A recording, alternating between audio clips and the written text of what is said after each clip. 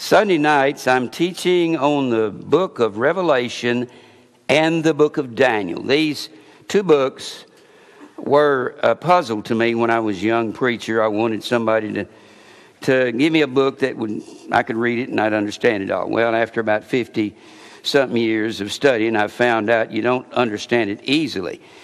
I'm going to try to give you a, I'm going to try to put up on the board a basic outline of what I've been teaching you without commenting a lot on it. I'm going to try at the front of the message.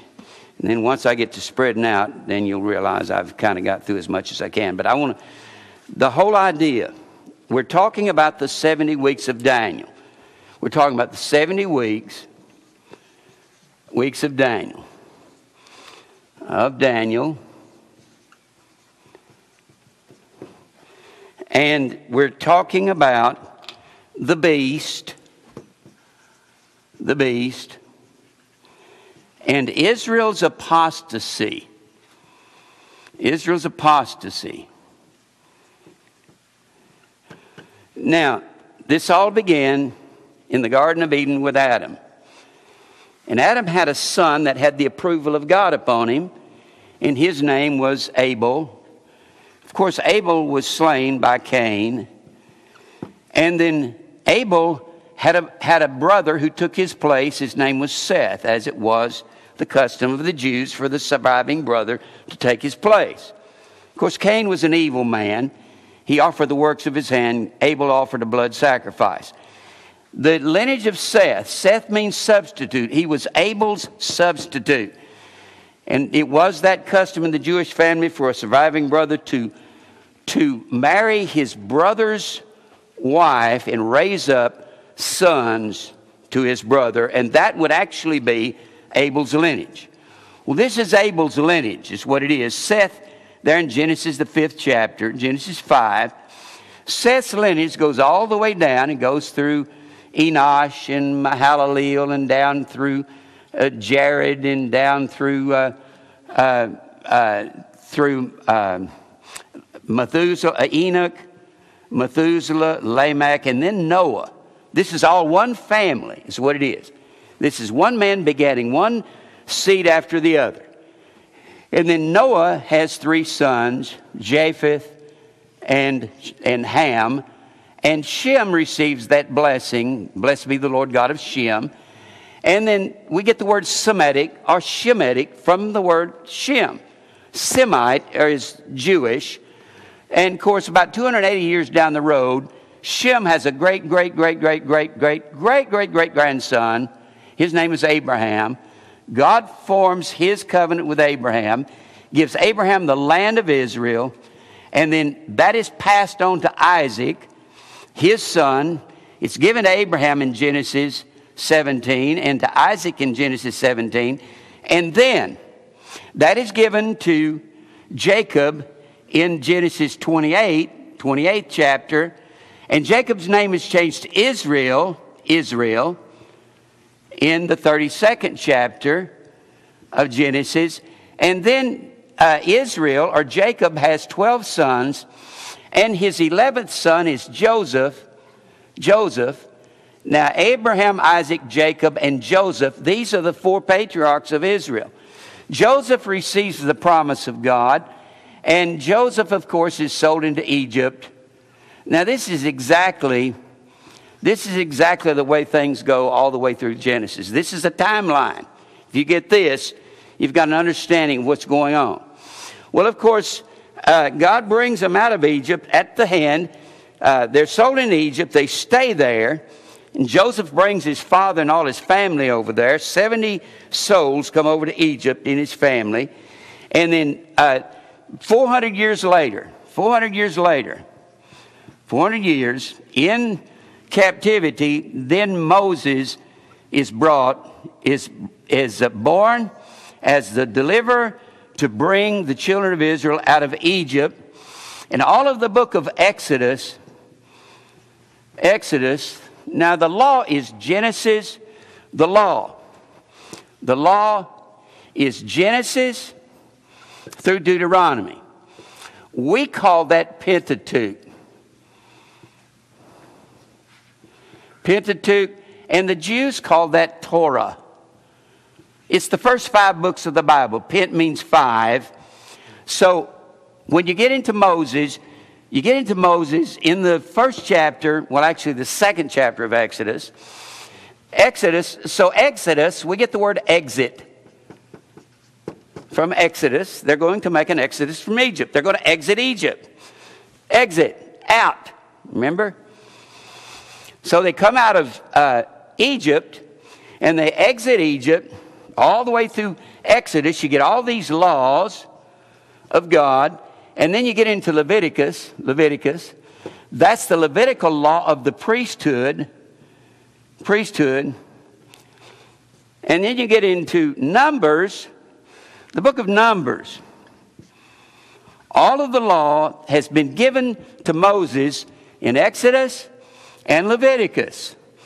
Then you get into Numbers. Numbers is a very important book. I used to think when I was a kid I wouldn't look at Numbers. I thought, well, that's just about a bunch of numbers. I thought, that must be boring. Numbers is all of the events. Moses brings the children of Israel out of Egypt, gets the law on Mount Sinai. Then they are made to wander in the wilderness for 40 years. From the time they leave Sinai with the law, their 40 years of wandering in the wilderness, all of these miraculous things that happen that come up against their enemies the cloud by day, the fire by night to lead them. And every time that cloud would start moving or that fire would start moving, that meant it's time to pack up and leave. When that fire moved, it, that fire was there at night. They usually moved during the day, but if that fire started moving or the cloud started moving, they started packing up fast. Because, and they followed the cloud, they followed the fire. Numbers is all of the events from Mount Sinai all through the desert, all their encampments, till they come up here just east of the Dead Sea, just as they cross over. It's all of the events that happen in the wilderness. Deuteronomy, then after that, Deuteronomy. Deuteronomy means second law. It comes from duo, or or we, or we say duo, or we say duet. A duet is when two people are singing together. A duo is two, and the word nomos. Deuteronomy, Deuteronomy. Nomos. That's the Greek word law. So this means second law. This is God reinforcing what he has said back here in Exodus and Leviticus. That's what this is right here. God reinforces it, and Deuteronomy is the law that's written just before they cross the Jordan River to go back in and possess the land. That was given to Abraham back here. Given to Abraham. Where's Abraham? Here. The land is given to Abraham. So they come back to the land that was given to Abraham. Abraham is around 2166 BC. And Moses is leading the children of Israel back into that land around 14 25 BC. So there's a lot of difference between Moses and Abraham, isn't there? Now, when they come into the land, Moses has received the law. And he's been told. Now, this, if you learn this timeline, you can add all the studies of these books for yourself and fill them in. This is a basic timeline of what happens from the first of the Bible up to where they're going in to take the land. When they go in to take the land, that's the book of Judges. Well, Joshua also. Joshua is where there's a division of the land and where they're going in to conquer the cities. And Joshua is where they set up the division of the property or the land. And every tribe had certain properties. We know that Judah and Benjamin was down here in southern Judah and that northern Israel was up here when you had, and then you had half the tribe of Dan over here on the east side of the Jordan River, and you had half the tribe of, not Dan, Manasseh, half the tribe of Manasseh over here, and half the tribe of Manasseh on the western side of the Jordan River. Now, we're talking about the 70 weeks. Well, God tells Israel, I'm going to be your God, tells Abraham, And the land here in Deuteronomy 28, the land will bring forth all kinds of crops, and you'll be able to whip your enemy, and I'll be your God, and you'll be my people, and you'll be fruitful and multiply, and your wombs will be full, and your basket will be full, and your store will be full. But if you go after another God, when I give you the land back, well, they were under judges for about 300 years, a few more or less, and they were under kings under kings. This is Israel. All the Bible is about Israel. That's all it's about. And it's about all the people that oppose them. There's no other reason in the Bible. The Bible doesn't have anything to do, it has nothing good to do with people that are vessels of wrath fitted for destruction. They're just there to be fitted for destruction. God picks them up to whip his people with. That's all. Now, they become a nation and from 1 Samuel to 2nd Chronicles, 1st and 2nd Samuel, 1st and 2nd Kings, 1st and 2nd Chronicles, this is the time they were a nation. And all the time they were a nation, God tells Moses when they come out of Egypt here, when they come out of Egypt under the hand of Moses, when they come out of Egypt, he says, if you're dis- you tell the children of Israel, if they're disobedient to me, I'll send the sword against them. I'll send their enemies to, to come into their cities and just crush them. And I'll send the famine. And I'll send the pestilence, all kinds of disease. And I'll send all kinds of plagues. And I'll kill them by the hundreds of thousands, even millions later on. Well, we know that Israel went after Baal and the grove, and they had many generic names. Baal was Hercules, the grove was Venus. Baal had all these other generic names depending on what city what was what other nations were around it.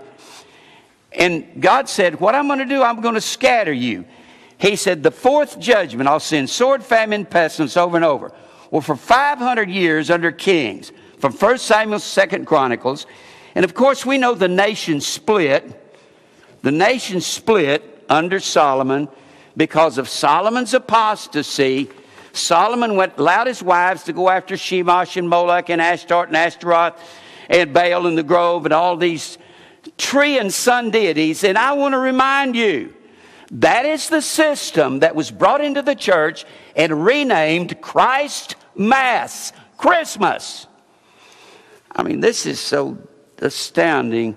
You go in and teach people history, and they say, oh, yeah, just because you teach history. Yeah. You know, George Washington was the father of our country. Get rid of that guy. You know. All right, now. Now, God split the kingdom. Here's the two kingdoms right here. There's southern Judah, legitimate kings, northern Israel. These aren't. All the kings out of Judah go back to David, right here. Other than Athaliah, and we don't even talk about her. She's a witch.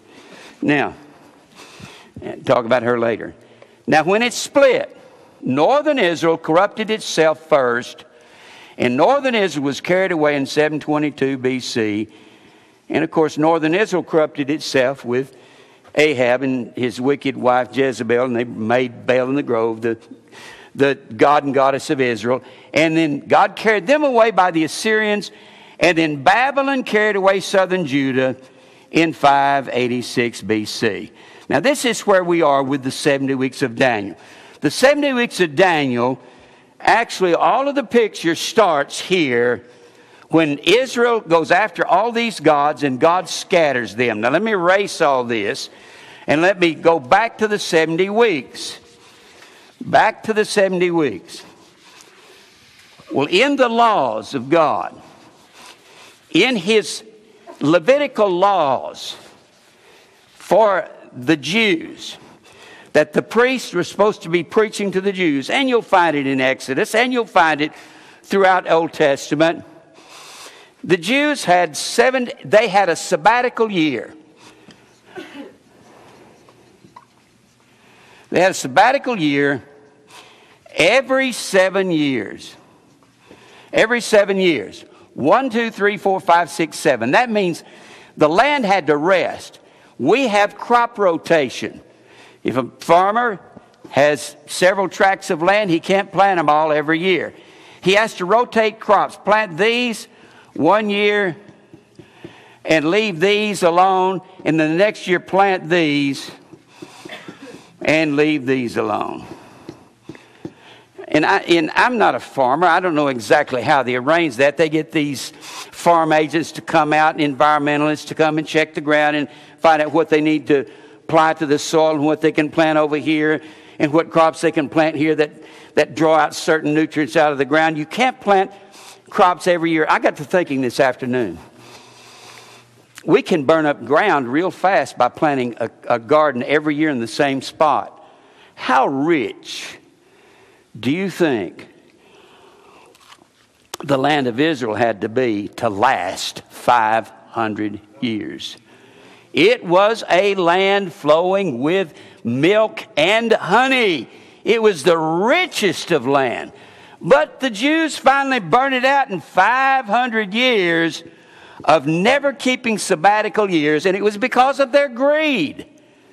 Now, I won't go through sabbatical years again. I'll just go ahead and say this. They had a 500 year period from 1 Samuel to 2 Chronicles. Now, the reason we're teaching the 70 weeks of Daniel is because it is the very bridge to all prophecy of the Old Testament and the New. I believe, some people don't believe this, and I'll show you why I believe it, and I'll show you why they, why they don't believe it, and I'll show you why what I believe holds more water than what they believe. Now, for 490 years, Israel never kept their sabbatical years. 490 is 7 times 70, or 70 times 7. That is the 70 weeks of Daniel.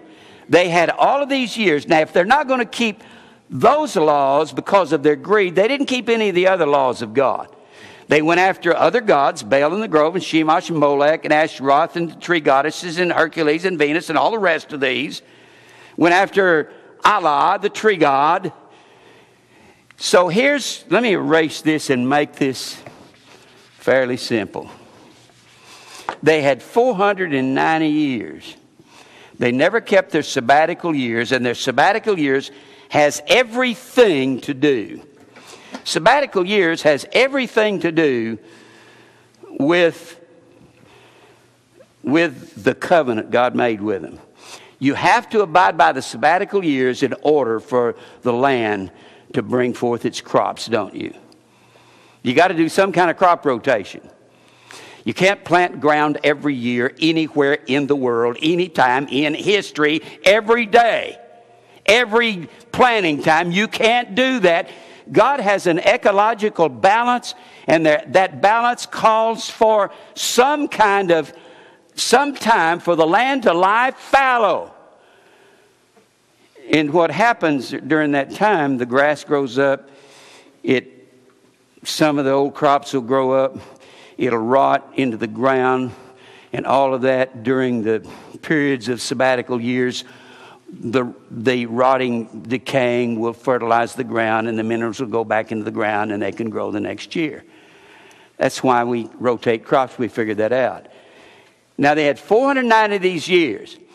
When Daniel 9 24, Daniel is in Babylon. He's been carried away in this captivity where Nebuchadnezzar has come and carried him away, and, gave, and Daniel is crying unto the Lord, Lord, how long are your people and your city going to lie desolate? How long is Jerusalem going to lie desolate? And how long are we going to be in captivity? Well, Dan, Gabriel comes to Daniel and says to him about the time of the evening oblation 70 weeks or 70 Shabuah. 77s are, are, are determined upon your people and upon your holy city to finish all this transgression of Jerusalem, to finish the transgression of going after Baal, not keeping God's laws, to make an end of the sins of, of Israel, to make reconciliation for all the iniquity that Israel has been involved in, and to bring in everlasting righteousness, to seal up the vision and prophecy, and anoint the most holy. Now, I've already gone through those things. When all of these six things are done, I believe we'll be at the end of time. End of time. The 70 weeks of Daniel are actually the 70 sabbatical years. For every one of those year weeks, you've got a sabbatical year. And they had 70 sets of these sabbatical years. So Gabriel is saying, because of all these sabbatical years and Israel ignoring God, God's got a time measurement for them to repent in. Now, this is the way He's measured it out. He said you had 490 years while you were a nation from 1 Samuel to 2 Chronicles that you never kept Sabbath. He said, first of all, what God's going to do, He's going to put you over in Babylon for 70 straight years, one right after the other. And that will let the land lie fallow. Nebuchadnezzar is going to come in and destroy all of Jerusalem. He's going to destroy the cities. He's going to wipe everything clean. And in Israel is not going to be nothing but a ghost town for 70 years. It's going to be in a state of annihilation where no one wants to go in there and live or dwell. Maybe just a few nomadic tribesmen would go in. He says, I'm going to take all of these one at a time from 586 BC, when Nebuchadnezzar comes in to carry southern Judah away, to 516 BC, when the temple is finished. Now, two things have to happen. First of all, there has to be a temple rebuilt. No need for Israel going back and possessing their land. This is the saddest time in Israel's history. Because for 70 straight years, they had no worship of Jehovah God. And remember, seven is the number of divine refinement, isn't it? So originally they had 490 years. And Jeremiah says, Jeremiah 25, Jeremiah 29, Second Chronicles 36, 36, and Zechariah, the first chapter, first chapter, the Bible says that Israel will be carried into captivity until the land has enjoyed their Sabbaths to fulfill three score and ten years. A score is 20. Three score is three times 20 is 60 plus 10 is 70 years. And these chapters right here, Daniel says, or Jeremiah says, Israel will be over here for 70 years. And he says, if you don't go back and repossess the land, rebuild the temple as these decrees are given, then what God's going to do, he's going to measure out these original 490 years and God's going to turn you over to the beast world system. And that's the fourth judgment when God causes Israel to be carried away captive, northern Israel in 586 BC, southern Judah in uh, northern Israel in 722 BC, southern Judah in 586. He says, You had 490 years. Look at this. Put it like this 490 years. 70 times 7, 70 years in Babylon. If you don't repent, which they didn't, and God fixed their hearts so they couldn't, then he says, I'll measure out those original 490 years or 70 Sabbaths that you had, you never kept Sabbath. And he says, I'll make you repent during that time, and that'll be 70 times 7 or 490 years, and that will take us to the end of time end of time. In fact, I put it up here simple in this box right here 490 years. I want to give you 70 years to come back and repent. If you don't come back, I'm going to measure out the original 490 years again, and that is the 70 weeks of Daniel. That right there. But he's got a way of measuring out the 70 weeks. Now, he says, let me erase this. Sometimes I try to be simple, but I have a hard time being simple. All right, now. Now, ha- there has to be a temple rebuilt. Now, some people try to say that the temple, put this over here. They say that the decrees to rebuild the temple was the beginning of the 70 weeks. Let's go back over here to Daniel 9. He says, 70 weeks are determined upon thy people in thy holy city, right? To bring great devastation upon them. If God's going to make an end of sins and finish transgression and do all these things, He's going to, the only way He can make that end with Israel is by spanking them and whipping them with the beast. That's Babylon, Persia, Greece, and Rome. And He's going to whip them all the way to the end of time, but Israel when Israel is repentant, that'll be us, spiritual Israel, won't it? God's Israel. And if anyone in literal Israel is a believer, they'll have to come and join us. So he says, here's the original 490 years. They were a nation. Nation. 490 years or 70 sabbatical years. There's the Sabbath years. And then he says 70 years in Babylon. And if you're unrepentant, here's the way I'm going to measure out the 70 weeks. While they're in Babylon, there are three decrees. Three decrees while they're in Babylon during that 70 year period from 586 BC to 516. That's 70 years, right? All right. He says, Here I, uh, here's how I'm going to measure out the 70 weeks. From the going forth of the commandment to restore and build Jerusalem. You're going to see when we go through these decrees, the three decrees for the temple. I don't know why somebody will say that Cyrus's decree or Darius's decree or Artaxerxes' first decree. I can't understand when they're all concerning the temple these first three decrees Cyrus, Cyrus, Darius, and these are all Persian kings. These are Persian kings and Artaxerxes. I always wanted a dog, name him Artaxerxes. X E R X E S. A great big Great Dane, and call him Artaxerxes. You know, I just thought that'd be a good name. Artaxerxes, you know. Or a bulldog. All right. Now, here's how he's going to measure. He's he's going to measure out, but you've got three decrees concerning the temple.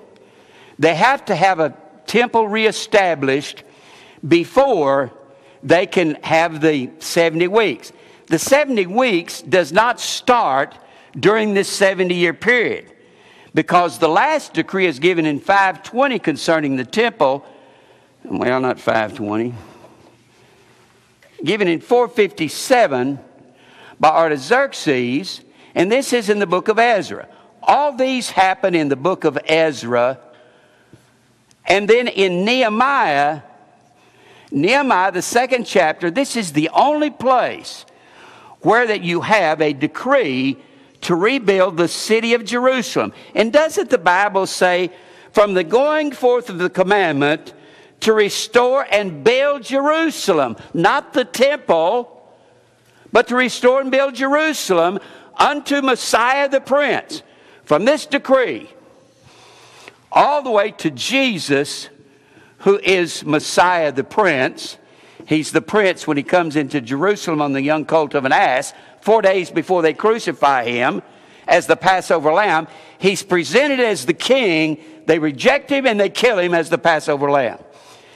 Here's the way I believe it's measured out. From the going forth of the commandment to restore and build Jerusalem unto Christ will be seven weeks, three score, and two weeks. Well, a score is 20. Three score is 60 weeks.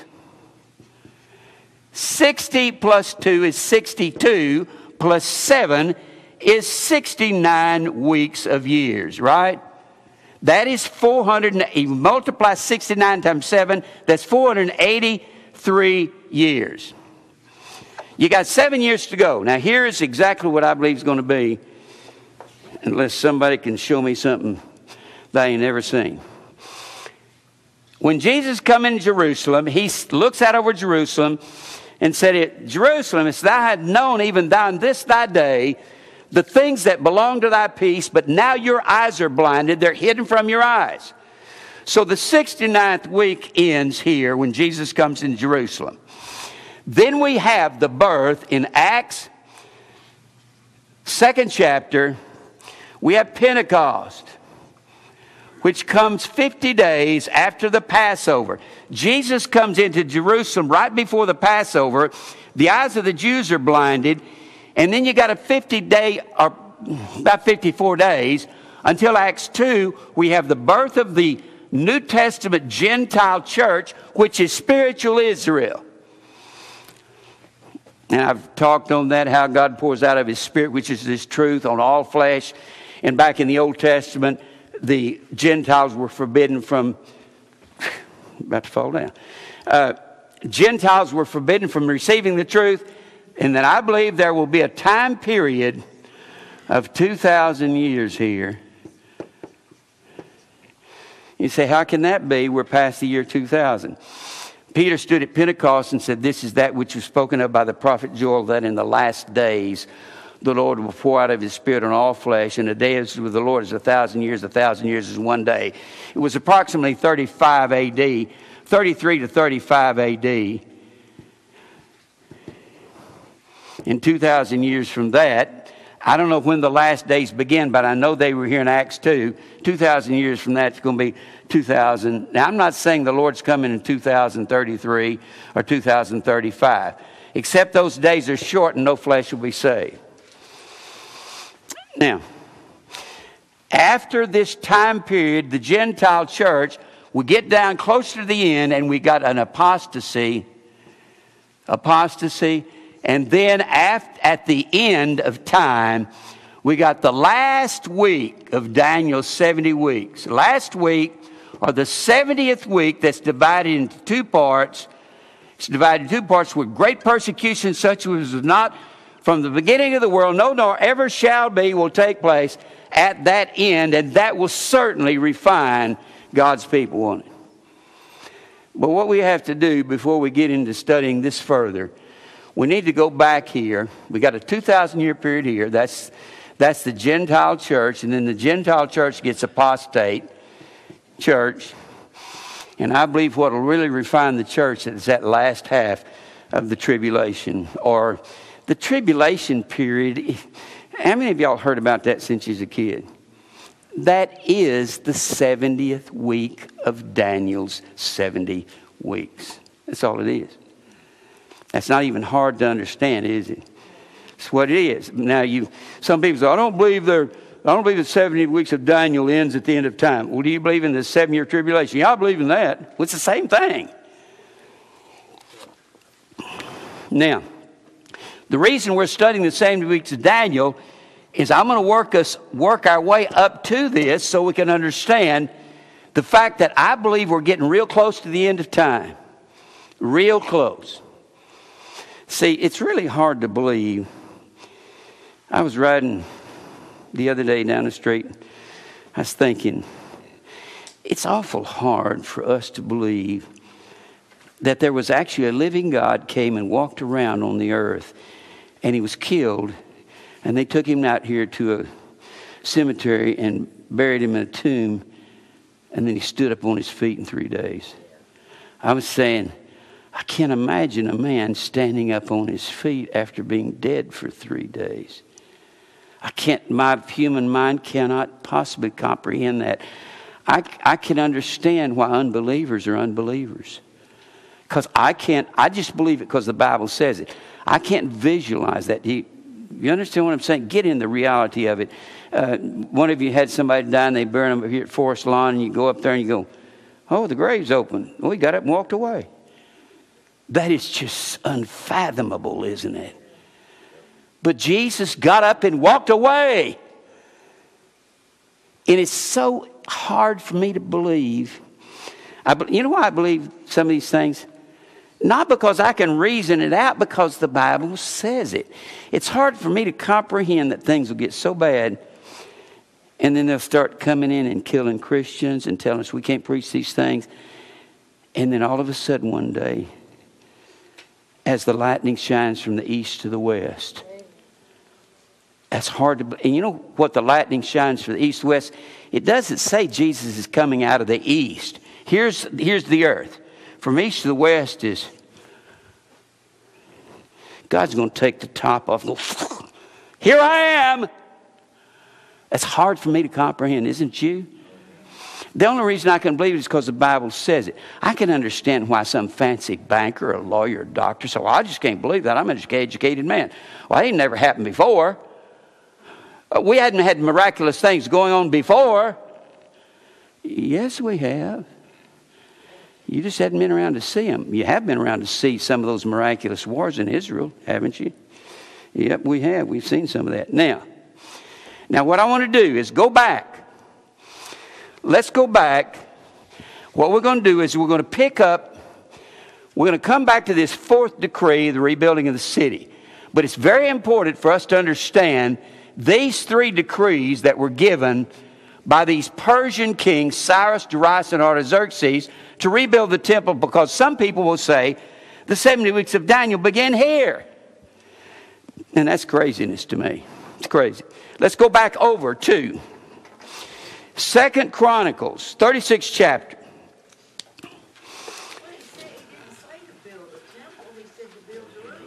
Well, I know that. I don't understand them either, Mary. Mary's sitting there like she's puzzled. Why can't these guys see this? I don't know. They're thickheads, I guess. Thickheads. All right, let me erase this. We'll come back to that Nehemiah, the second chapter, for that first decree later. But let's do this. Let me erase this down here. And let's look at these decrees Go over to, let's go over to uh, Second Chronicles. I mentioned this the other week and I never did finish it. Second Chronicles, 36th chapter. This is the chapter where southern Judah is carried away into captivity. And they're carried away, and immediately Nebuchadnezzar carries them off and uh, verse 20, and them that had escaped from the sword carried away to Babylon. This is Nebuchadnezzar, king of Babylon, carrying Israel into Babylon to spend 70 years there, where they were servants to him and his sons until the reign of the kingdom of Persia. Now they overthrow Israel in 586, in southern Judah in 586 BC.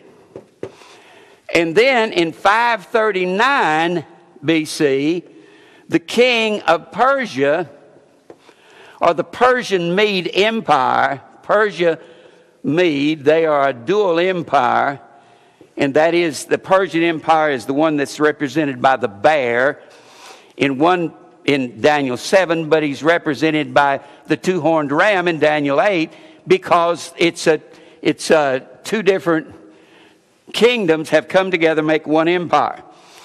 And they're going to be carried away to fulfill the word of the Lord by the mouth of Jeremiah until the land had enjoyed her Sabbaths.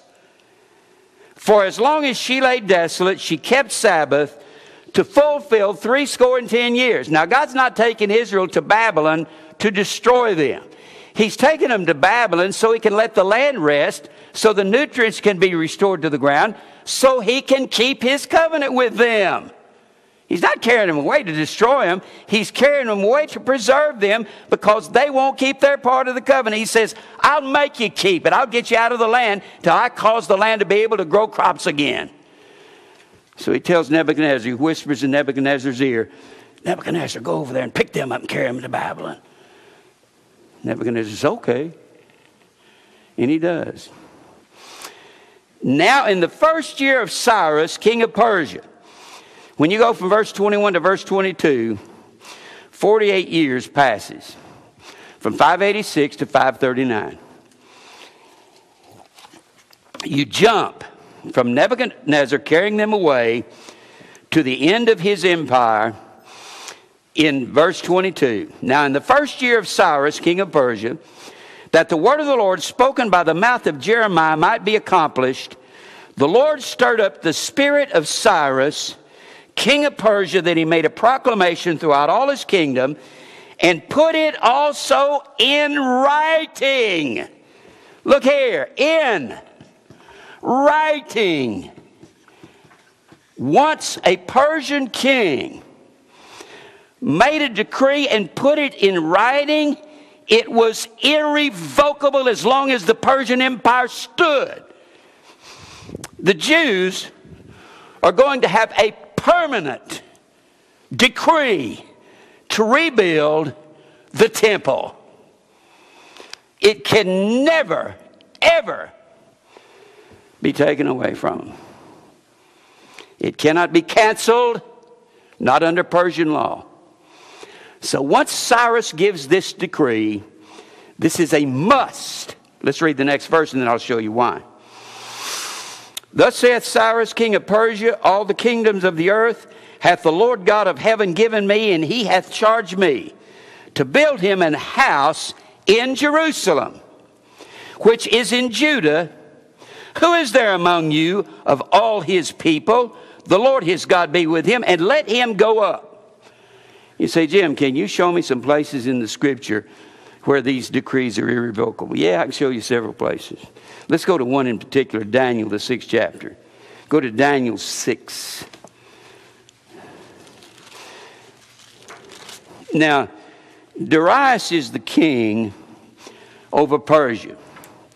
Cyrus, at this point in Daniel 6, Daniel 6, uh, Darius, Darius the first, Darius the first, he's called Darius Hystaspes, H Y S T A S P U S, P A S. Darius Hystaspes, or Darius the first. Now, before him was Cambyses. He's a very unimportant king, kind of a pansy. His father was Cyrus. Cambyses inherited the throne from Cyrus, but Darius won the throne because he was a great general. Now, Darius is king of, of uh, the Persian Empire at this point. Daniel is beloved in the courts of Darius. Darius loves Daniel. I mean, he loves Daniel because Daniel has proved himself to be a faithful man to the Persian kings. He's interpreted uh, visions for Nebuchadnezzar in this book, who was king before Cyrus, or long before Cyrus. Uh, he's interpreted messages for these men. But I want us to read here in Daniel, the sixth chapter, to see the reason we're going to read this about Daniel is to show that the decrees are unchangeable. Once they're written down, and you have to understand this let me say this real clear. You have to understand that the decrees are unchangeable once they're written down in order to get to Nehemiah, the second chapter. Because Artaxerxes writes a decree down in Nehemiah, the second chapter, and that's the only place you find one written down and distributed among his kingdom. Once, once the Persian king wrote a decree, it is here forever, as long as their empire stands. And no one can cancel that decree. It pleased Darius, verse 1, to set up over the kingdom an 120 princes, which should be over the whole kingdom of Persia and the Mede Empire. And, and he was a Mede king. Remember that? Cyrus was a Persian king. These were not unlike, let me just say this. Let me just say this. Persia is Iran over here. That's what Persia is Iran, over to Afghanistan. We think of Persia, we don't quite picture it as where Ahmadinejad is. It's the same exact place where Mr. Ahmadinejad, that was Persia. This is Babylon in Iraq. Here's Israel, here Jordan, Syria. So Persia's over here. When Persia attacks Babylon, they come over from these mountains over here, the Zagros Mountains, and they come over here and attack Babylon here on the Euphrates River. So over here, that's, that's Persia, is Iran. We're all familiar with that. That's Ahmadinejad's ancestors. Now, please Daniel, priest Darius to set over the kingdom and 120 princes, which should be over the whole kingdom of Persia, and over these three presidents, of whom Daniel was the first. Do you think Darius didn't love Daniel? Oh, yes, sir. He loved this man. that the princes might give accounts unto them, and the king should have no damage. Now, Daniel's been in Babylon a long time. He's an old man here. He's uh, Darius ascended the throne in 522 BC. 522. In 522 BC, and Daniel was carried away in the original captivity. So he's uh, getting on up there, isn't he? He's not a young man anymore. Then this Daniel was preferred above the presidents and princes. Well, not only did God prefer him, but it would be redundant to say that God preferred him. We know that. The whole reason of putting this down is that Darius preferred him because an excellent spirit was in him. And Darius had heard about Daniel's reputation, what an honorable man he was, how he wouldn't compromise anything, and how his God was uh, delivering God. And the king thought to set him over the whole realm. Then the presidents and princes sought to find occasion against Daniel concerning the kingdom because they're jealous, because Darius loves him better than us. But they could find none occasion or fault. They could find no way to trap Daniel. He was such a godly, honorable man. For as much as he was faithful, neither was there any error or fault found in him. He's another Joseph, isn't he? He's another picture of Christ, yeah. Then said these men, We shall not find any occasion against this Daniel. They're jealous of him. Same reason the Pharisees came after Jesus to kill him. They were jealous of him, right? Except we find it against him concerning the law of his God. We got to trap him with the laws of his God. And remember, Darius loves this Daniel. Then these presidents and princes assembled together to the king. They go to Darius and said, Thus unto him, King Darius, live forever. Long live Darius. You bunch of phonies. What a bunch of con artists. All the presidents of the kingdom, the governors, the princes, the counselors, and the captains have consulted together to establish a royal decree because you're special, O king. We really like you. To establish a royal statute to make a firm decree. Decrees have to be put in writing, don't they? And if Darius puts a decree in writing, it's irrevocable. He's fixing to be tricked concerning this man he loves, Daniel. Well, you know what Darius did? He fell for a bunch of smooth talk. These guys were used car salesmen. Yeah, there's well, that's why they went after Jesus. It was out of envy that they killed him. All right, where was I?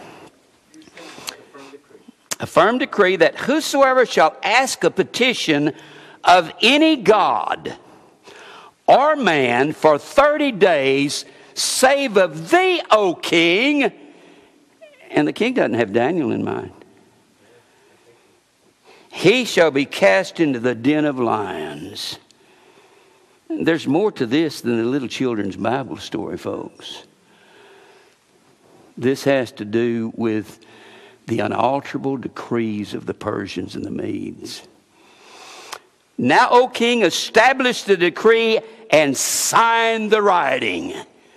Well, when a Persian king signed the writing, it was law from then on. That it be not changed according to the law of the Medes and Persians, which altereth not. There's the word ada, A-D-A. Means to depart away from or remove, ada, A-D-A. It does not, it does not alter never changes. Once a Persian decree is given, that's it. And old Darius is falling for this hook, line, and sinker. And he's got a beloved one named Daniel that he loves, and he's made him president of all the presidents.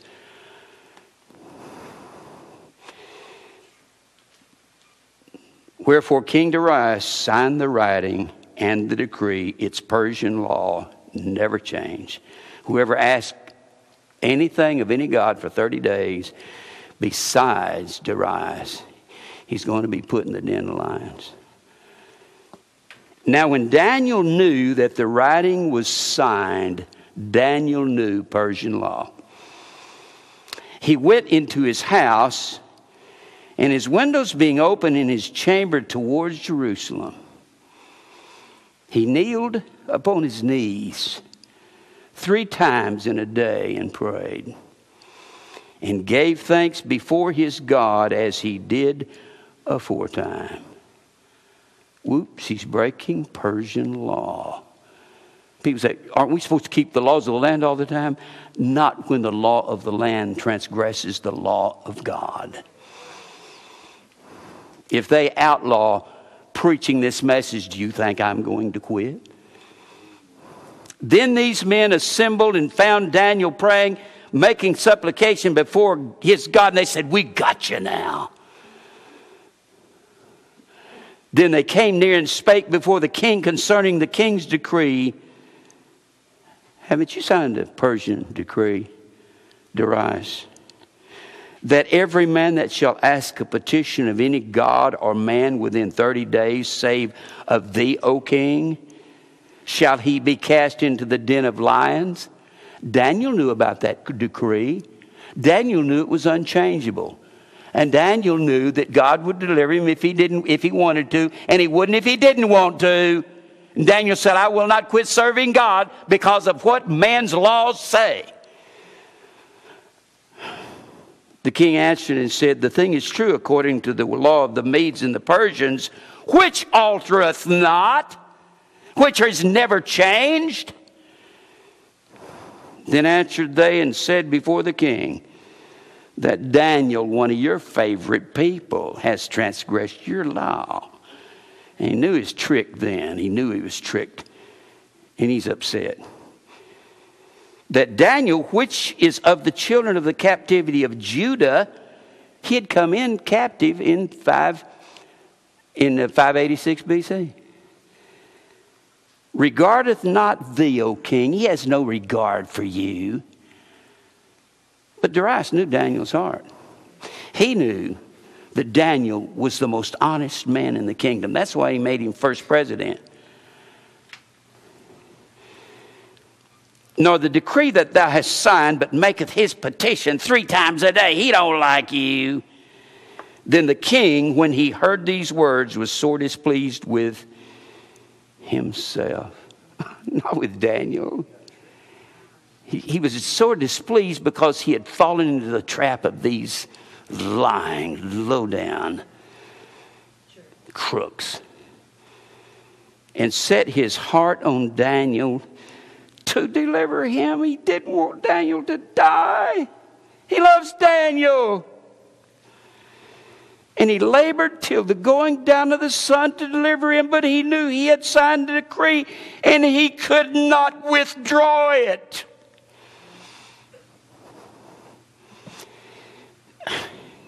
He truly loved Daniel with all his heart. Then these men assembled unto the king and said unto the king, Know, O king, that the law of the Medes and the Persians is that no decree nor statute which the king established may be changed. You know what you did. You get Daniel. Why don't you want to slap these guys? Just sneaky, underhand, lying, low life. You didn't know Daniel the Lions did had such a bunch of sleaze in it, did you? Then the king commanded and brought Daniel and cast him into the den of lions. Now the king spake and said unto Daniel, These words really touch me. Thy God, whom thou servest continually, will deliver thee. These are the words of Darius. Isn't that great? I believe Darius must have believed God. He just got tricked. He fell into a trap that all of us are easy to fall into. When somebody starts stroking you, when you're young, you believe it. Boy, somebody starts stroking me, I say, get away from me. Jim, you're just wonderful, the greatest thing in the world. And I just don't know what we'll ever do if you ever die here at Grace and Truth. And I've had people come up, pat me on the back, and you're just wonderful, you're wonderful. And where are they now? They're off somewhere down the road, 100 miles or 1,000 miles. Don't stroke me too hard, too, too often. But when somebody strokes me constantly, I just go, whoa, whoa, wait a minute. I feel like you're trying to pull a Darius on me. That's what we'd start calling it, a Darius, won't we?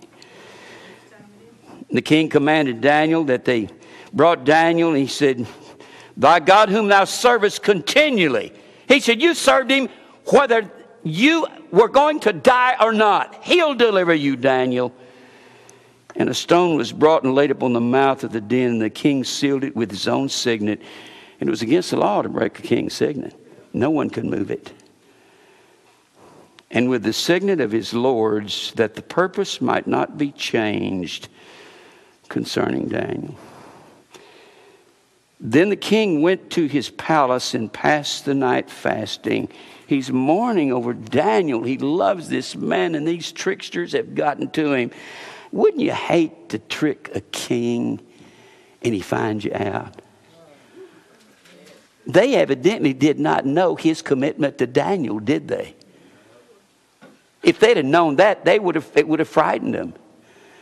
Neither were instruct, instruments of music brought before him, and his sleep went from him, and Darius couldn't sleep all night long thinking about Daniel.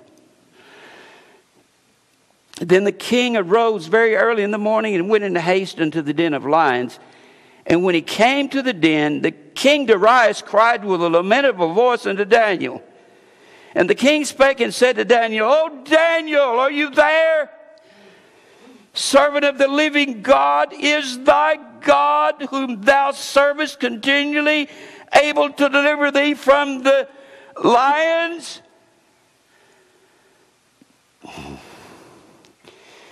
Then said Daniel unto the king, O king, live forever. Here's a bond you can't break. That's Darius and Daniel, can you?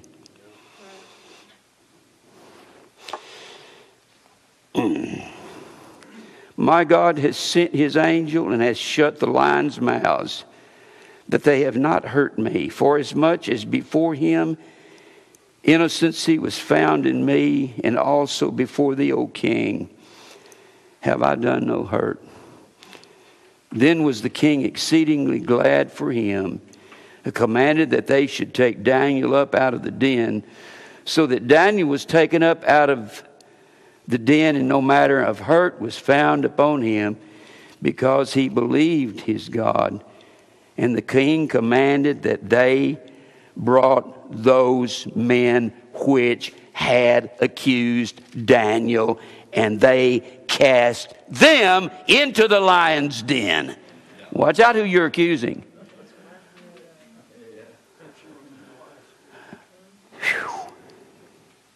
Darius said, I'll show you. You don't trick me, one of the dearest men that I ever heard of in my lifetime. Then their children and their wives and the lions had mastery of them, ripped them to shreds, and break all their bones in pieces. Had their, them, their children, their wives, the lions had mastery of all of them, killed their entire families, and break all their bones in pieces, or ever they came at the bottom of the den. Then King Darius wrote unto all the people, nations, and languages that dwell in the earth Peace be multiplied unto you. I make a decree that in every dominion of my kingdom men tremble and fear before the God of Daniel. He's writing a decree down. Everybody in the Persian Empire will tremble at the God of Daniel. For he is the living God. Hmm. I think we'll see Darius in heaven, don't you? I think we'll see Nebuchadnezzar in heaven. And steadfast forever in his kingdom, that which shall not be destroyed. Oh, I think that's Israel. That's the church. And his dominion shall be even unto the end, He delivereth and rescueth. This is God, Daniel's God. He delivers and rescues. He worketh signs and wonders in heaven and earth, who hath delivered Daniel from the power of the lions. So this Daniel prospered in the reign of Darius and the reign of Cyrus the Persian. And they loved Daniel. Now, we can see here that the laws, that the decrees of the Persians are unchangeable, aren't they? Can't be altered. As long as they existed, the decree was there forever. Now, remember in the book of Esther, I don't have time to go through it, it's a whole story. But Esther's first cousin was Mordecai. And Israel was in, and Ahasuerus was the king. That is Xerxes. That is the father of Artaxerxes. When we're talking about Cyrus and then Darius, and we're talking about Artaxerxes. Well, Xerxes, X E R X E S, that is also Ahasuerus. Now, during his reign, Esther, she was a Jewish. You remember Vashti, or Vashti, however you want to pronounce her name, which was one of the wives of Xerxes. She wouldn't come when she was called and uh, to the to the throne room of Xerxes. So he exiled her and says, "Bring in all the beautiful women in the land." And this Esther was the most beautiful woman in all the land. And she became wife to him. She never told him she was a Jew or an Israelite. She never told him that. Yeah. And she never told him that. And then, to make a long story short, let me make it real short. Haman was the enemy of the Jews. He, he, went to the, he went to Xerxes and said, We've got to stop these Jews. We've got to stop them. And Esther had never told Xerxes that she was a Jew. Shh. I can't. Three or four of you got talking at once. Uh, Esther was a Jewish woman. Haman was in command, was one of the commanders of Xerxes. And Haman was an enemy of the Jews, and he didn't like the fact that the Jews were beginning to get strong. And Haman went to Xerxes and said, Oh, king, you need to make a decree to kill all these Jews because they're trying to take over your land. Xerxes said, Okay, I'll write a decree out and you can go slaughter them. Well, the word gets to Mordecai out in the streets, and he comes to Esther and he says, Esther, there's been a decree made that, that all the Jews are going to have to die. So she goes to Xerxes and, and she has, and of course, Haman is making these gallows to hang Mordecai on and hang Jews on. And so uh, Mordecai comes to Esther and tells her there's a decree been made and it's unalterable, and all the Jews are going to have to die. So Esther goes to King Xerxes and says, I'm a Jew. You've made a decree that I have to die. He said, Oh, what can we do? She said, Well, you can make a decree that we can fight and defend ourselves, and we outnumber Haman's big band of army and guerrillas. He said, Okay, I'll do that. So he writes out a decree and writes a decree, and that's irreversible, so they can fight Haman now. And they got a lot more people than he's got. So that's just another illustration. And of course, when they conquer Haman and Haman is, Haman is hung on the same gallows that he fixed for Mordecai, they call that, and that's a celebration that they call Purim. Purim. That's the feast of Purim, where they're liberated from Haman. Now, that just shows, I'm trying to point out that the decrees of the Persians and the Medes unchangeable. Now, how much time do I have, Mike? All right, maybe I can get through this second decree. Go back. Now, since I've set this up, let's go back to Ezra, the first chapter. I've set this up, and you're ready to hear this. Ezra, the first chapter. Ezra, Nehemiah, Esther, Job, excuse me. All right, Ezra, first chapter. Now, when you, in my Bible, in my Bible, when you turn from Second Chronicles, you flip the page, 36, you go to Ezra. Well, in Second Chronicles, it does in your Bible too, but yours might start on the same page. Mine, you have to flip the page from Second Chronicles to Ezra. The last two verses of Second Chronicles 36 shows the decree being put in writing there in, in verse 22 of Second Chronicles, right?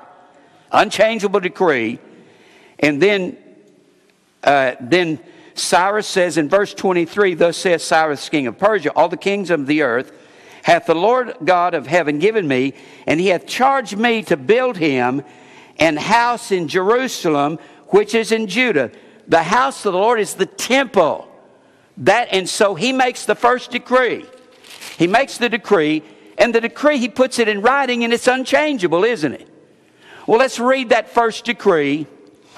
First decree in chapter 1.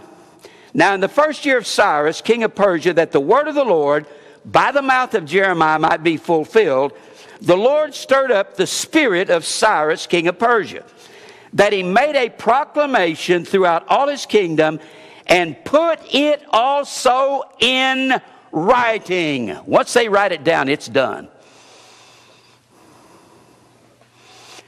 See, when it says put it in writing, he said those same words back there in verse 22 of chapter 36 of Second Chronicles. Put it also in writing. Put in writing means it's an official Persian decree, it never changes. Put it in writing, say, Thus saith Cyrus, king of Persia, the Lord God of heaven hath given me all the kingdoms of the earth, and he hath charged me to build him an house, a temple at Jerusalem which is in Judah. Who is there among you of all his people, Cyrus is saying, over there in Babylon? Cyrus overthrows Babylon, keeps the capital city of the empire in Babylon. His God be with him. Let him go up to Jerusalem, which is in Judah, and build the house of the Lord God of Israel. He is the God which is in Jerusalem boy, Cyrus and Darius and Artaxerxes and Nebuchadnezzar, these were good men. Now, chapter 2 gives you a list of all the people that went up. There's millions of people over in, in Babylon. Millions. But we look down in that second chapter in verse 64, less than 50,000 go back. They're not really repentant. Verse 64 the whole congregation together was 40 and 2,303 score. Besides their servants and their maids, of whom there were 7,330 and 7, and there were among them 200 singing men and singing women. There was 49,697. 49,697 out of the millions that were over there, that's all that came back with this decree. All of Israel could have come back, but they had been liberated and they have been, they buy land and they're prosperous in Babylon. Why do they want to go back to that wasteland? They don't. Now, all right. They start, huh? Yeah, no, I don't know that yet. All right, now, that'd be a good thing to know, wouldn't it? You'll go home and add them up. That'd take all day and all night to add those up. And now, let's read in the third chapter. They begin this building of the temple. I don't want to read all of this. Let's read a couple of verses here. And when the seventh month was come, and the children of Israel were in the cities, the people gathered themselves together as one man to Jerusalem. Cyrus gives the decree over here in Babylon, and these people come back and they're in the various cities there. And they come back. Then stood up Jeshua, the son of Jozadak. Now, Jeshua is the high priest.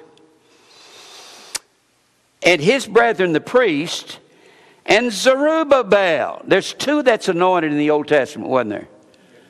The priest and the king. Priest and king. Now, the priest here is Jeshua. And Zerubbabel is not allowed to be king, but he is in Jesus' lineage in Matthew, the first chapter, and he would have been king if the Persians had allowed them to have kings. Zerubbabel would have been the king of Israel if it had been allowed. But he is the governor representing the Persian kings in what's called the Transjordan or the other side of Jordan region. Now, he is the governor. Now, Zerubbabel also has a Persian name. When they went to Persia, they would rename these men. Daniel was renamed Belteshazzar, B E L T E S H A Z Z E R. Zerubbabel was given a name. His name was Sheshbazzar, S H E S H, S H E S H B A Z Z A R. That was Zerubbabel's Babylonian name. Shadrach, Meshach, and Abednego were Babylonian names of the three Hebrew children. Now, let's, uh, where was I? All right, we're, let's read here. Then stood up Jeshua the son of Jozadak and his brethren the priest, and Zerubbabel the son of Shealtiel and his brethren, and they built the altar of God of Israel. The first thing they built was an altar so they can establish relationship with God, to offer burnt offerings thereon as it is written in the law of Moses, the man of God. They set the altar upon his bases for fear was upon them because of the people of those countries. And they offered burnt offerings thereon unto the Lord, even burnt offerings morning and evening. So the first thing they built in that temple was that altar right there. They built the altar. Now, I don't want to go through every verse here. Let me see here. Look down here in verse 8. In the second year of their coming into the house of God at Jerusalem, in the second month began Zerubbabel, the son of Shealtiel, and Jeshua, the son of Jozadak, and the remnant of their brethren, the priests and the Levites, and all they were come out of the captivity into Jerusalem and appointed the Levites from 20 years old and upward. First thing they did was appoint Levites and build an altar. Now, people talk about they're going to build a temple in Jerusalem at the end of time, and that's, that's not going to be the sacrifice and oblation ceasing. First of all, they don't know who Levites are. They don't even know what tribe anybody belongs to. You got to have Levites to offer sacrifice, and that will be that'll sting to God if anybody starts offering a lamb in a literal temple, won't it? Look down here in verse 10. When the builders laid the foundation of the temple, the Lord of the Lord, they set the priest in their apparel with trumpets. Down here in verse 12, but many of the priests and Levites and the chief of the fathers who were ancient men that had seen the first house or Solomon's temple, when the foundation of the house was laid before their eyes, they wept with a loud voice. And many shouted aloud for joy because their temple had been waste for years, so that the people could not discern the noise of the shout of joy from the noise of the weeping of the people. Now, they had adversaries there that wanted to stop them. Chapter 4. There were people here in, that had been in here, not great settlers. We're not talking about people going there and to build great lands, but they had what they call satraps. S A T R A P. A satrap was an official representative of the king of Persia that was set up over in Israel to collect taxes for the king of Persia and various things like this. And these became adversaries. They were just watching over lands. They would send representatives to watch over lands. Now look at chapter 4, verse 1. Now, when the adversaries of Judah and Benjamin heard that the children of the captivity builded the temple unto the Lord God of Israel, then they, then they came to Zerubbabel and to the chief of the fathers and said unto them, Their adversaries said, Let us build with you. Can we come help you build your temple? Can we come to your church and help you build? I don't like you, Jim Brown. Can I come help you? I'll get you if I can get in there and get under your skin. I can get in your foundation. I'd like to come help you. That's what they were doing. For we seek your God as you do. We believe in predestination too, and Christmas is pagan. Wait till I get in there. And we do sacrifice unto him since the days of Esarhaddon, king of Assyria, which brought us up hither. It was Esarhaddon that came in and carried northern Israel away captive. But Zerubbabel and Jeshua are not stupid. And the rest of the chief of the fathers of Israel said unto them, You have nothing to do with us to build an house unto our God. Get out of here. Now, there, that's not very nice, is it? But we ourselves together will build unto the Lord God of Israel as King Cyrus, the king of Persia, hath commanded us. Now, the reason I'm going through the adversaries is because this has everything to do with the decrees of the Medes and Persians not changing. Because they're going to stop the building of the temple. But wait a minute, if they stop the building of the temple, isn't there a permanent decree that never alters? They're not allowed to stop this according to the Persian decree, are they? What they're trying to do, they're not allowed to do. They can lose their heads in, in Babylon for this. Can't they? It is a Persian king that laid the law down. What they're doing is they're flirting with death, trying to stop the building of the temple because they are satraps. Some of them are satraps. They are particularly one man named Tattenai. we get to him, you'd think a man as smart as him would know better than this, wouldn't you? Let's continue reading. Where was I? Now, the fact that they're trying to stop it, and they do stop it, they do stop it. Let me just put up here. They start building the temple. And when Nehemiah gets the decree to build the city, and it's a written decree, can that be stopped? No way. No, you have to understand that these decrees do not alter in order to understand the 70th week. That's why we got to go through these. The beginning of the 70 weeks, actually. Now, where was I? But you have nothing to do with us. Uh, but we ourselves together will build unto the Lord God of Israel our kings as King Cyrus, the king of Persia, hath commanded us, you would think, as King Cyrus commanded us, everybody knew the decrees were unchangeable. You'd think they would stop and check themselves, wouldn't you? Well, the temple begun to be 539 BC. Cyrus overthrows Babylon. 538, that is that first decree in at the end of Second Chronicles, the 36th chapter, and the first few verses of Ezra, the first chapter. That's the first decree. These adversaries, they jockey back and forth and fight the rebuilding of the temple till in 536 BC, they send a letter to the king of Persia and they get the building of the temple to stop until the king of Persia is reminded of Cyrus' decree.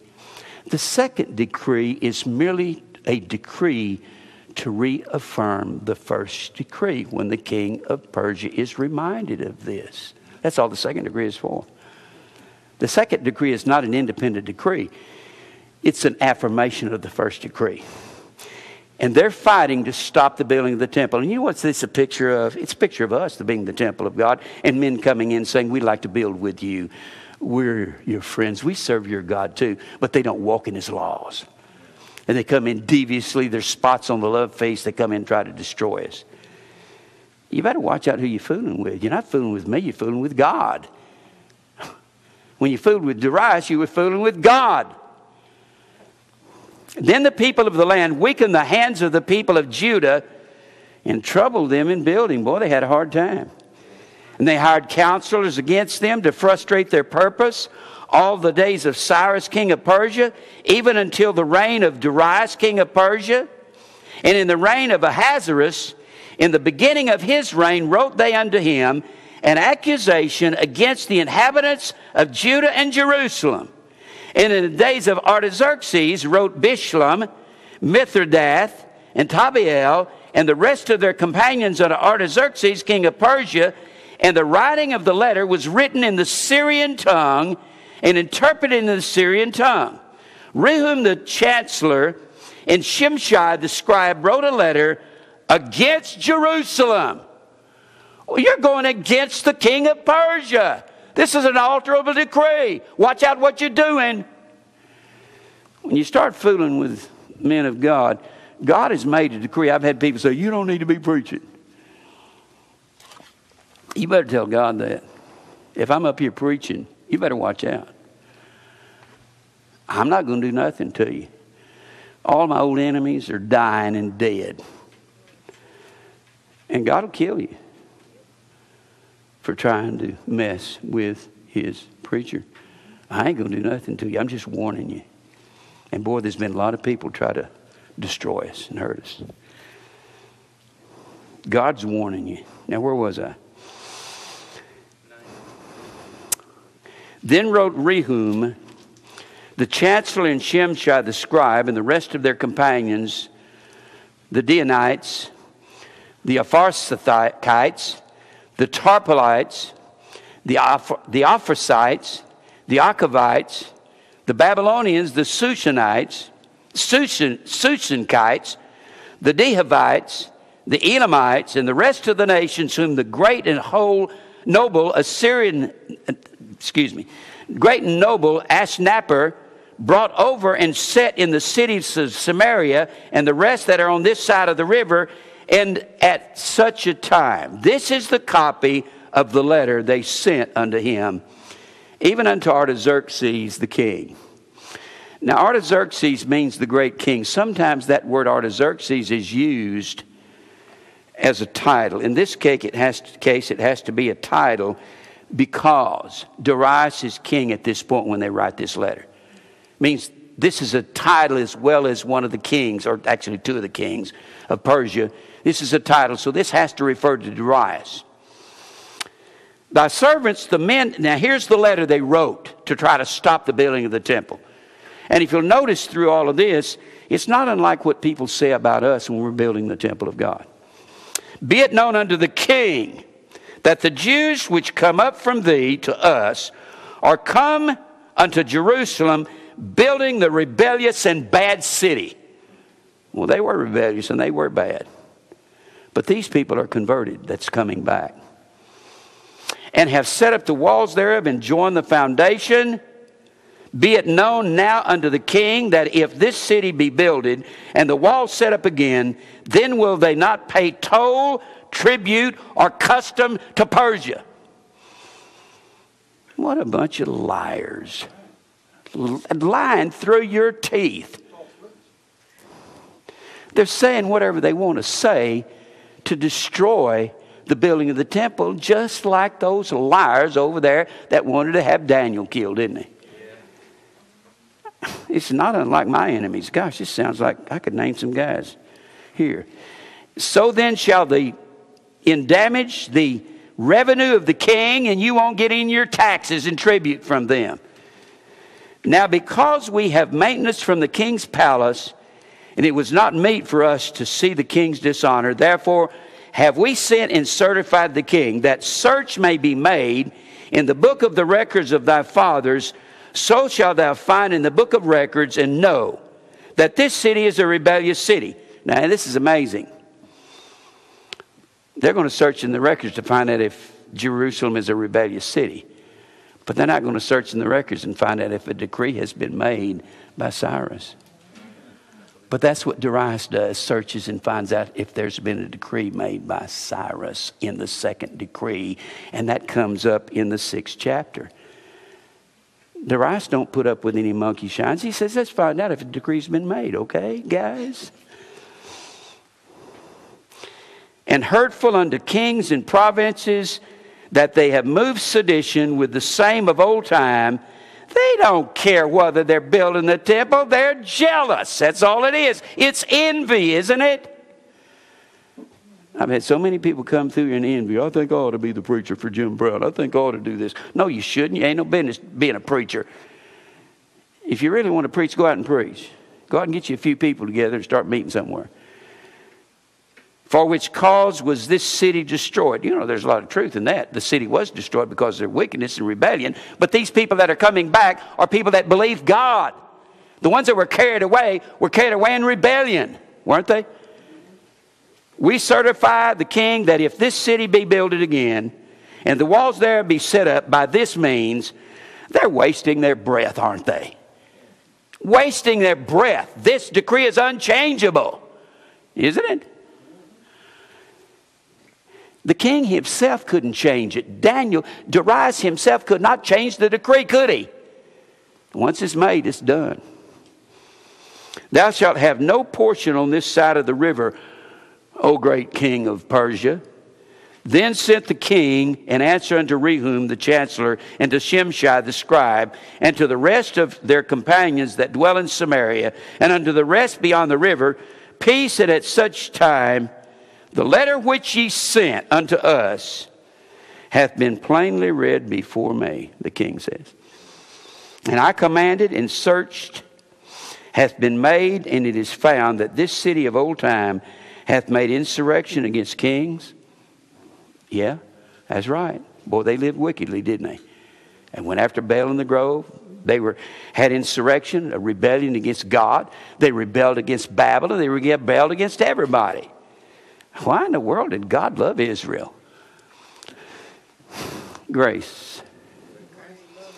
And that rebellion and sedition have been made therein. Well, they're right they're right, but those were rebels against God. These are people that are coming back to worship God.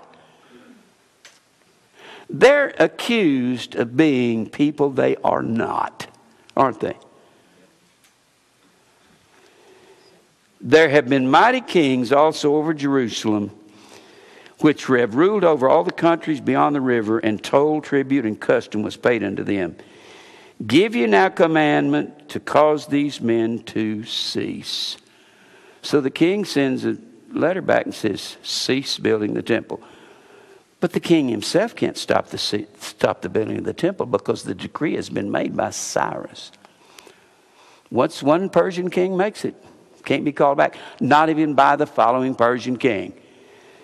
Until another commandment shall be given from me until I look, check into this thing. Tell them to stop until I check into it. Take heed now that you fall not, that you fall, fail not to do this. Why should damage grow to the hurt of the kings? Now, when the copy of King Artaxerxes' letter was read before Rehum and Shimshai the scribe, and their companions, they went up in haste to Jerusalem and to the Jews. I said, hurry up and get up there and tell them to stop this building and made them cease by force of power, then ceased the work of the house of God, which is at Jerusalem. So it ceased unto the second year of the reign of Darius, king of Persia. It stopped in 536. That's when they stopped it. Darius started reigning in 522 BC, so it stopped until 520 BC. Ooh, wee, boy, that's a great number, isn't it? Enter Haggai, Zechariah. They're here for one reason.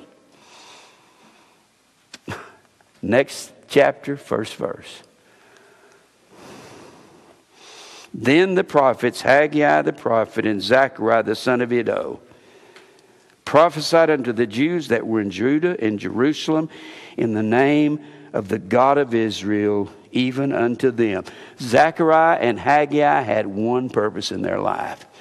Tell Israel, get up off your bottoms and get to work. That's what they preached. Look at Haggai. How much time do I have? Oh, me. Go to Haggai.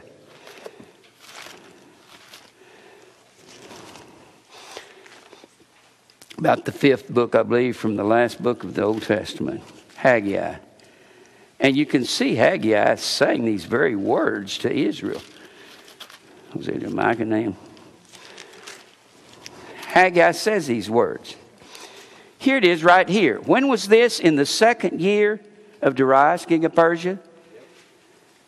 Chapter 1, Haggai. In the second year of Darius, king of Persia. The second year is 520. In the sixth month, in the first day of the month, came the word of the Lord by Haggai, the prophet unto Zerubbabel, the son of Shealtiel, governor of Judah, and to Joshua, the son of Josedek, the high priest, and here's what Haggai said Thus speaketh the Lord of hosts, saying, This people say, The time is not come, the time that the Lord's house should be built. Then came the word of the Lord by Haggai the prophet, saying, and boy, I've heard Pentecostals read this verse, and they are so stupid. Charismatics. Is it time for you, O ye that dwell in your sealed houses?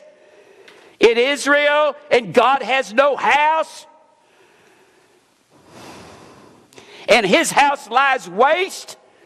Boy, how many, has any of y'all ever heard charismatics preach on this and just twist it all to pieces? We've got our sealed houses, and God wants us to have good houses. And God, I mean, what did you, this is talking about Israel stopping building the temple. Now, therefore, thus saith the Lord of hosts, consider your ways. You have sown much and bring in little you eat, but you have not enough. God has made famine come. Get up off your tail ends and get busy building the house of God. That's Haggai's entire message, and he prophesies for three months. And then Zechariah stands up and prophesies for three years. And when you read Zechariah and Haggai, that's their whole message to make Israel get busy and get back to building the house of God. It has they quit building it. The first decree started in 538. They stopped building in 536 because of all the opposition. For 16 years, they sat down and did nothing. Absolutely zero. And Haggai and Zechariah come along. Boy, do you think that you think they're important prophets? Oh, you bet your life. Without the 70 weeks of Daniel, Haggai and Zechariah wouldn't even exist. That's the only purpose they had to make Israel get off their bottoms and quit sitting around doing nothing in the house of God. And let me say to you and to all of us, we need to quit sitting around doing nothing, feeling sorry for ourselves because our enemies kind of got us down a little bit. Get up and build the house of God. And that second decree, when they get back over to Babylon, that second decree, Darius says, let's search and see if there's a decree and he's king now.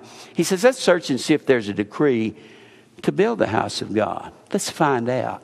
If there is, all I will do, he's saying, is make a decree to reaffirm that decree because that decree can't be changed. My decree will be to make everybody shut their mouths. We think that we can get by transgressing the decrees of God. God has made these decrees, hasn't He? Have I have any time left? A minute. In looking at Haggai and Zechariah, then rose up Zerubbabel, the son of Shealtiel, and Jeshua, the son of Josedek, and began to build the house of God, which is at Jerusalem. And with them were prophets of God helping them. Then along verse 3 comes the enemy that's going to stop it all. His name's Tatnai. At the same time came them Tatnai, governor on this side of the river in Jordan. He was the official representative of the Persian Empire. But he can't stop the building. The decree is permanent. In Shethar, Shetharboznai and their companions and said thus unto them, Who's commanded you to build this house of God? Then said we unto them after this manner, What are the names of the men that make this building? But the eye of their God was upon the elders of the Jews, that they could not cause them to cease till the matter came to Darius. They're going to go back over there and talk to Darius about this, the king of Babylon, or the king of the Persian Empire. Say, Darius, these guys started building again, and you've decreed that they had to stop building.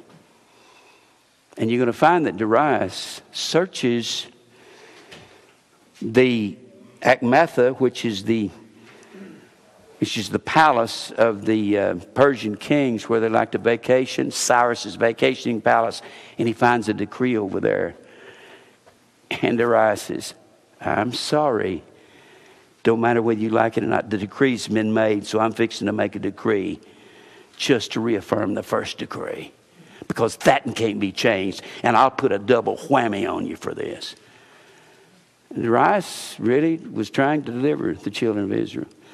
We'll come back next week, and I'll try to pick up here with the second decree. And I'll try to show you why the 70 weeks of Daniel could not have started with the first, second, or third decree. We'll go through the second, and maybe I can get to the second and the third decree next week.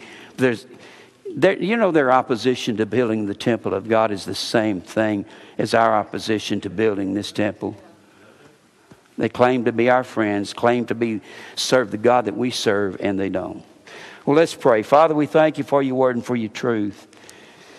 Help us to continue this message and lead us to your elect. Open up the doors out there across the country and on TV where people can hear this truth.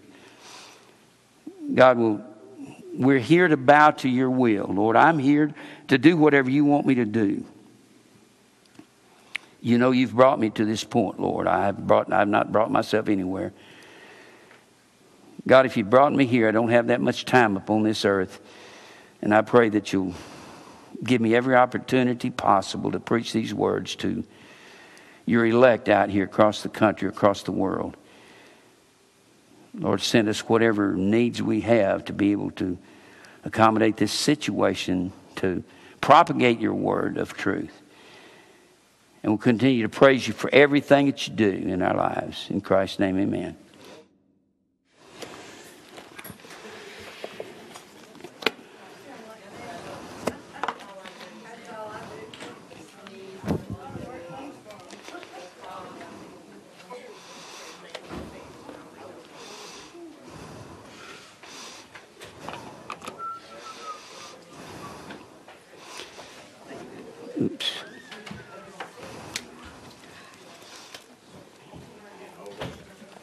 Dry all day. Huh? You get over there and that. That's so good. Yeah, I like that Ooh, too. I love it. I like that Daniel want you to story. keep going. Okay, you want me to? Okay. That's my favorite. You know that. I know it. I like that Daniel, especially when Darius felt about it all. He was something else. Ooh. Huh? Yeah, yeah. I like that too.